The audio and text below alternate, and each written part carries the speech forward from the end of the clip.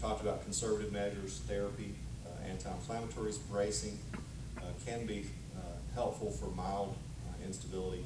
Uh, surgery options, we call this MPFL, medial patellofemoral ligament reconstruction, is uh, often necessary for recurrent dislocations or, or uh, instability. And that basically is um, reconstructing this disrupted ligament on the, the medial side, the inner side of the ligament, bringing that into proper alignment. Uh, that can be, we usually will take a, a graft, a hamstring from the patient, from their, their insertion of the hamstring, use one of the hamstring tendons to loop and, and drill holes into the knee, uh, the patella as well as the thigh bone. Uh, and that creates an anatomic, rein, like the reins of a horse, basically holding that patella in position through that range of motion. So a very uh, helpful and successful surgery. Um,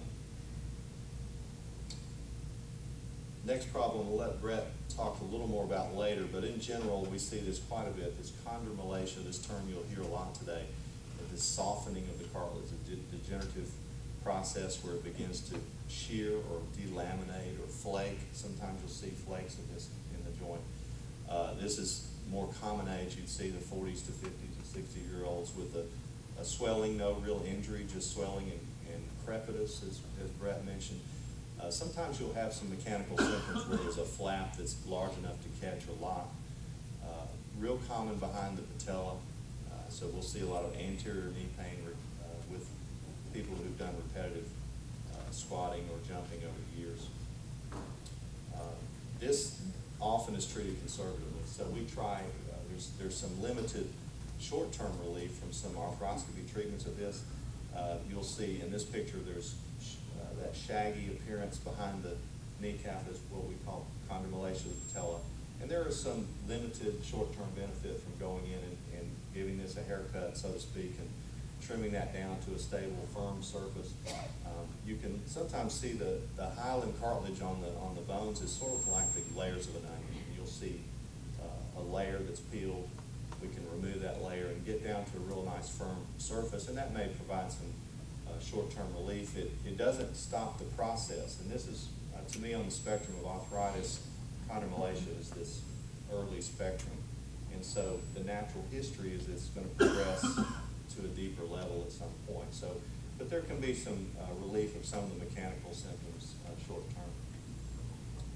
Uh, this is often what you would see on x-rays, not a lot of impressive findings you might notice on the x-ray on your right. There may be some early uh, spurring on the, on the kneecap uh, as you look from a side view, but otherwise pretty, pretty normal x-rays.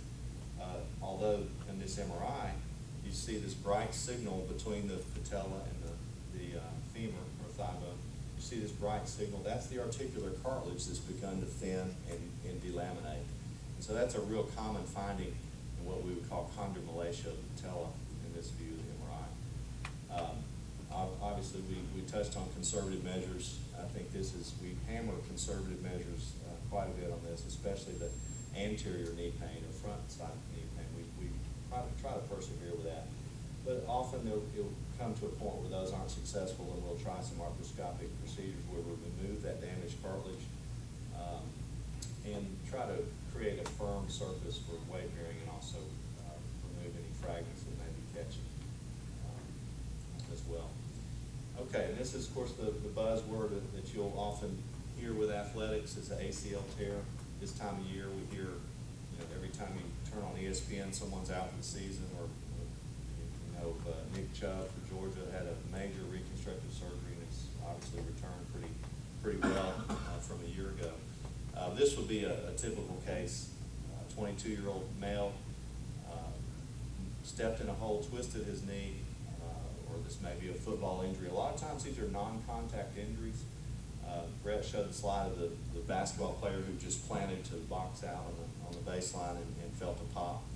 Uh, usually there is that, a lot of times you'll hear the history of I felt a pop or there'll be a uh, giving way in the knee. Uh, many times significant swelling depending on uh, where the ACL is torn. The ACL has an artery within it so that when it tears it bleeds, so that's hence a lot of swelling in the knee. Um, often associated with meniscal tears, and so you'll get some tenderness at the joint line. They're also associated with bone bruising uh, on the outer side of your knee. So a lot of times the joint line tenderness is related to bone bruising from this injury and the way that the pivoting and, and extension of the knee occurs. Um, so we call this Lachman test, um, is where we test the shear, the, the translation between the, the femur and the tibia. And if there, we grade this based on millimeters of translation, and so oftentimes if we, we'll have a, a little laxity in our ligaments. Some people have a grade one laxity, and you test the other knee, and it feels symmetric. And so some people may have a false sense of looseness in their ACL. But those traumatic injuries, if you catch them before their muscles are spasmed and before they're guarding, they'll have quite significant translation in that Lachman test. Um, this is the, the front ligament, the cruciate ligaments that comes, that's a Latin term. You've heard of crucible, the cross. Uh, that's because these two, because these two ligaments cross each other, the anterior uh, is in front of the posterior cruciate ligament. And this is the ligament that we're addressing at this point. Uh, the ligament involves front to back stability, but also there's a real important rotational stability uh, component to the ACL, and often is is not uh, in some of the previous surgical techniques. Um, the front to back stability was addressed, but if you put your graft into vertical, it won't address the rotational stability. So uh, this this surgery has really uh, evolved more the past, I would say, 10 to 15 years uh, with regard to anatomic location of where you put the graft placement of this in surgery. This is an MRI, and uh, you see on the right, you see what a normal ACL, see a very top, dark line uh, that goes diagonally from the back of the femur to the front of the tibia. This is an intact ACL, and then on your left, you see really no distinct line. There's blood, all the white, the fluid signal there is, is usually blood, and there's, you can see a portion of the stump of the ligament. But this is a complete ACL tear on the, on the left-hand side. Um, and, and the right, you see the contrast with the intact ACL on the, on the right side. So conservative options are, are possible, and, and Brett touched on that. We, we look at patient activity level, age, uh, we look at uh, the symptoms. Uh, there's, there's times where you will see someone who has such strong quadriceps and hamstring muscles that they don't have very uh, significant symptoms. There's a lot of people who ski and do things without an ACL who've rehabbed their quadriceps and strengthened uh, to the point where they, they don't have symptoms. So that, that can be an option for uh, middle age or, or older. But we also would, would do an ACL in someone who's symptomatic and, and older if their activity level is high and they're having symptoms. So we don't let age keep us from doing the, the right treatment, but there are sometimes some conservative options. Uh, surgical options, we use a, a graft to reconstruct the ACL.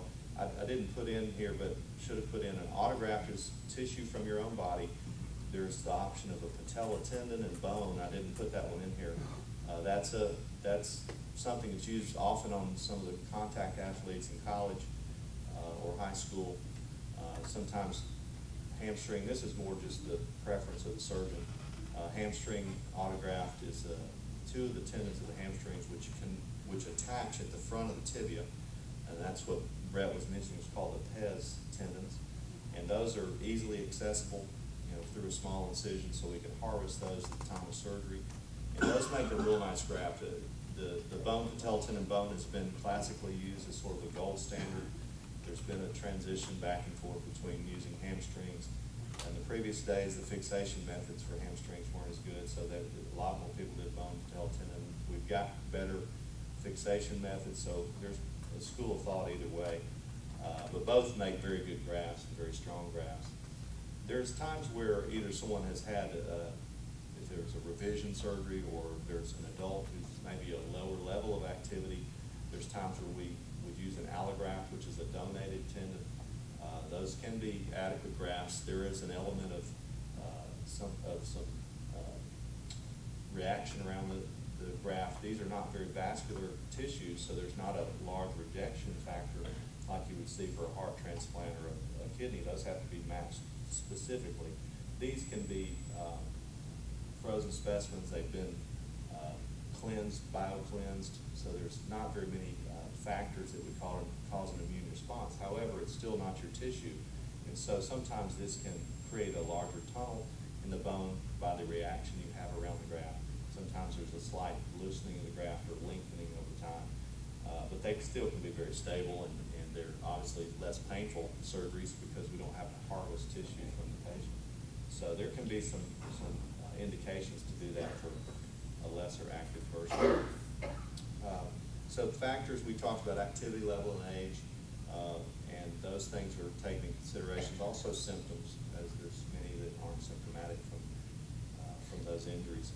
Um, I'm gonna let, I'm gonna let uh, Dr. Clayton get more into the total knee arthroplasty. There's some times when, this, this case, we'll, we'll stop here because this is more in the total knee range, but we do some arthroscopies for our arthritis occasion with a condylation. If you're in a, a moderate stage where there's some mechanical symptoms, uh, Brett mentioned that, that going in and cleaning out uh, fragmented cartilage or, or things that meniscal tears that are associated with arthritis. So there are times where we address this through a scope, but in the later stages, obviously, the, the options become more reconstructive and, and related to knee replacement.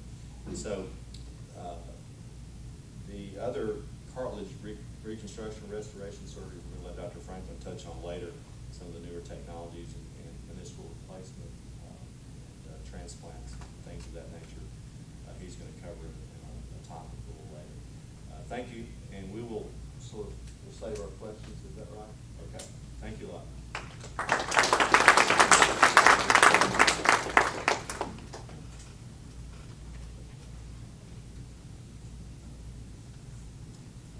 Our uh, next speaker is uh, Dr. Ryan Aaron. He is a physiatrist here at Sports Med. He's to be talking about uh, radio frequency ablation of nerves around the knee, a non-operative treatment for the.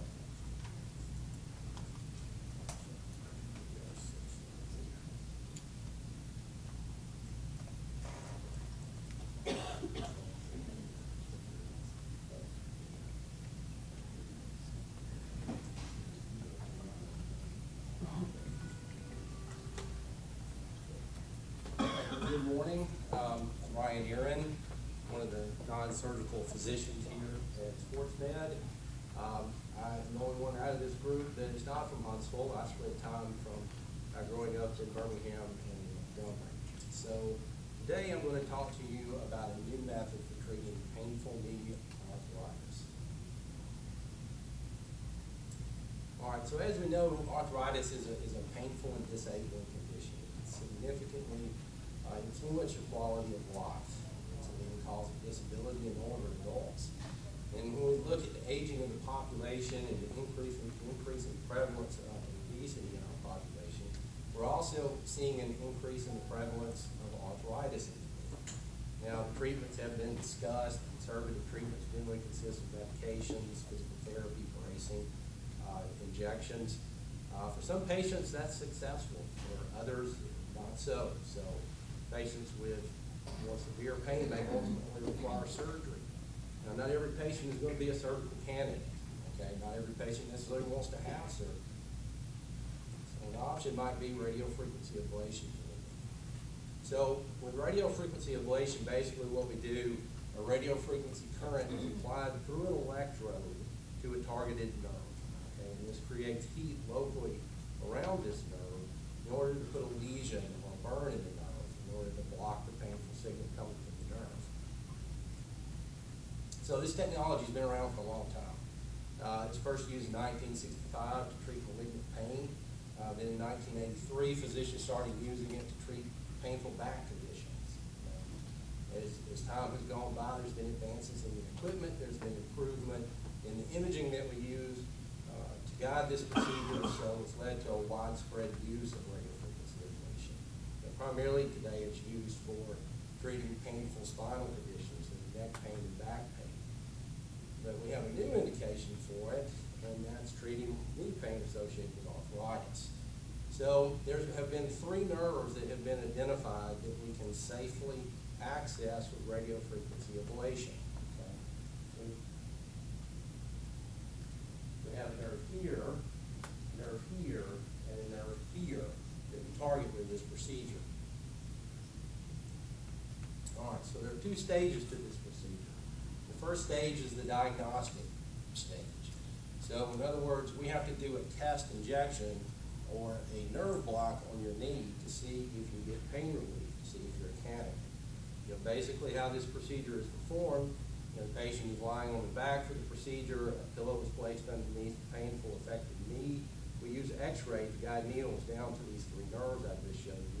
And then we deposit an anesthetic or a numbing medicine around these nerves to see if your pain is back. Now, one thing that will sometimes cause anxiety with patients is, well, you don't get sedation for this, okay? So the reason is, well, if I need to assess you after the procedure, and you need to assess yourself, and you're asleep on the table, but we're not gonna get any information out of you, right? So, so we just can't use sedation? Now, this procedure can create pain at the injection site, so I'm sticking needles into you basically, all right? So that can create tissue disruption, it can create bruising. Generally, this is a distinctly different pain than the pain that you live with every day with your knee, okay? So when a patient assesses himself after the diagnostic test, they have to be able to pull that out of the equation, okay? So they have to be able to separate the pain from the injection from pain that they have every day. Typically, that is not a big issue, uh, but it's just something to think about. Okay, so again, here, here are our three nerves that we address with this procedure. This is an x-ray where the needles have been placed here, here, and here. All right, so, uh, we've done our test injection and the patient gets great relief. Their, their pain is much better. So now that brings us to the radiofrequency ablation procedure, okay? So this is done under sedation, under sedation in an outpatient setting. So setup is basically the same. Uh, the patient's lying on the back, pillows placed underneath the knee. We use x-ray to guide the needles down to these areas. But instead of injecting something through the needles this time, I'm going to insert a, a wire or an electrode through this needle that's going to create heat around the nerve, put a lesion in the nerve? Procedure takes about thirty minutes. Now, a question I, I pretty commonly get is, well, if you burn my nerves, am I gonna be weak in my leg? And the answer is no, we're not burning that kind of nerve. We're burning sensory nerves, we're not burning the motor nerves, so it's not gonna leave you weak in your leg. And we do, uh, we- well, we take caution to make sure that we're not near a motor nerve. So a couple things we do, well, we're doing this under x-ray. So I see exactly where I need to put the nerve and I stay away from those dangerous areas. You know, number two, we do what's called motor stimulation. So in other words, I send an electrical stimulation through that wire, through that electrode. Uh, and if it's too close to a motor nerve, the muscles in the leg are gonna contract, okay? At which time I would just reposition the nerve. So there are cautions that we take to, to make sure that doesn't happen. Okay. So this is just a picture of the, of the kind of room that you have this procedure. Okay, so this is a procedure room. Um, of course, this, table with the patient's placed, lying on the back. This is the C-arm, of the x-ray that we use, uh, for, for guidance. Uh, This is the monitor that I use where I watch the needles as they're guided down to the knee. All right, so when, when we're looking for potential candidates for this procedure, well, it's patients that have painful arthritis of the knee, that have gone through the, the typical conservative treatment options. So they've had therapy, they've had braces, they've, they've tried injections, they've tried medicines, and none of this stuff has worked, okay? Patients that are considered inoperable, okay? So maybe you have too many health conditions, you're not a good patient or a good candidate to have surgery.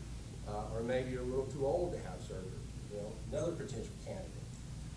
A patient that has persistent pain after knee surgery, also a potential candidate. But ultimately, uh, candidates are, are chosen by who responds well to the diagnostic injections. Okay, who has a positive response, who gets better. So one of the first studies that was published that showed that this procedure is actually helpful uh, for people that have knee arthritis uh, was just published back in 2011. It was done in Korea. So they took patients with moderate or greater intensity pain uh, for at least three months. They had x-ray evidence of, of, of arthritis. They tried the conservative approaches. Uh, none of it really helped much. So they did positive test injections on these patients, and they found seventeen patients that they put in the ablation group, and they found eighteen patients they put in a sham group or placebo group. So what these guys reported was greater improvements in pain, function, and satisfaction for the patients that were treated with the ablation versus the sham. Now, they didn't look at any patients that had previous knee surgery, so there's not information regarding that in this study. They didn't report any adverse events associated with this, no problems afterwards. All right, so this is a, a case that was published in the journal, uh, the PMR Journal in two thousand fourteen. Uh, this is a forty-eight-year-old male that injured himself at work, uh, went through the conservative measures, really had no success, had significant arthritis, ended up undergoing surgery. A year later, he was still having significant pain, okay? The surgeon ordered more physical therapy, but it didn't help much, so the surgeon decided to send him, uh, to be evaluated for a radiofrequency ablation procedure. So he had his diagnostic injections. His pain went from a nine out of ten to zero out of ten after the diagnostic injection. So ten is miserable pain, worst imaginable pain, somebody set you on fire kind of pain, okay? Zero is no pain. So he's gone from a nine to a zero after his test. So he underwent the radiofrequency ablation procedure, uh, and then they followed up with this, this patient in two weeks and then three months after the procedure, and his pain was reported zero, zero out of ten, okay? They started the guy in physical therapy, had some gains in strength, range of motion, he was able to go up and down stairs now, uh, without the All right, so this is just, uh, more examples. Uh, These are cases that were reported from a pain clinic in Italy. They followed nine patients after radiofrequency ablation procedure, including three pa- patients that had previous knee surgery. Uh, So they followed them for twelve months, and they reported significant pain reduction and improved autonomy in daily life up to twelve months. That's including two of the three patients that had had previous knee surgery? And they also reported no adverse events.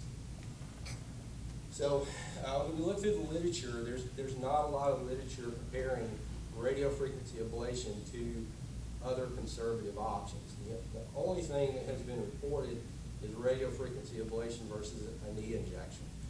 Um, this was, uh, published in, uh, in Turkey, actually. So they had thirty-seven patients that received a, a radiofrequency ablation, had thirty-six patients a knee injection. Knee injection included bupivacaine, which is an anesthetic, morphine, which is a pain medicine, uh, and betamethasone, which is a steroid. Now, this is not the typical uh, cocktail that, that, that I use or, or, or uh, most people use. Typically, morphine is not used. Usually, it's some combination of anesthetic uh, and steroid. Uh, but nonetheless, they reported a greater reduction in pain and improved function at one month and in three months in the RFA group versus the injection group. So this is another case. So, 81-year-old female, she has pain in both knees. She tried all the conservative treatment approaches, temporary relief. She had decreased tolerance for, for uh, weight bearing. She had to ambulate with a cane. She was offered surgery, but she declined. She was scared to have surgery. So she decided to undergo a bilateral genicular nerve ablation, a radiofrequency ablation of the knee. So her pre-procedure pain, her pain before the procedure was reported at eight out of ten, okay?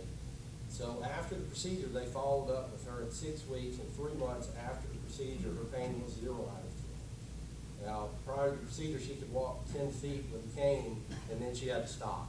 Okay, she was hurting too badly, she couldn't walk any further. After the procedure, she was able to walk up to five blocks with no assistive device with minimal discomfort. All right, things to consider.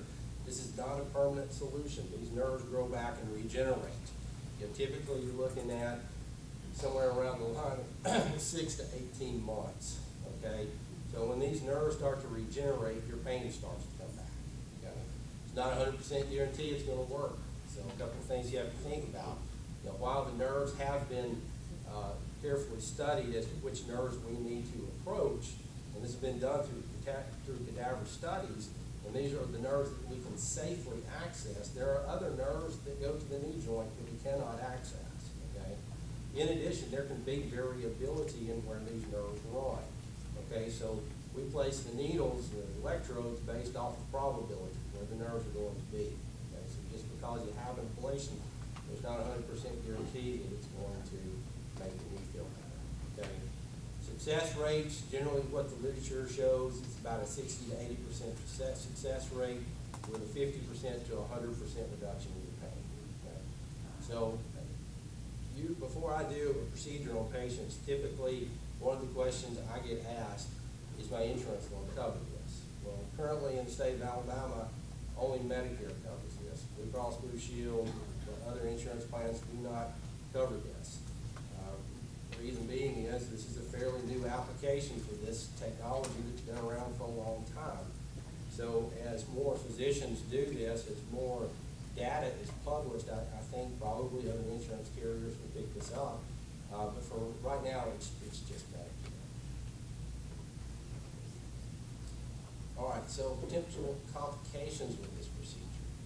Well, pain at the procedure site. So, when you stick you into somebody, you disrupt tissue, can cause some bruising. That typically resolves in a few days, okay?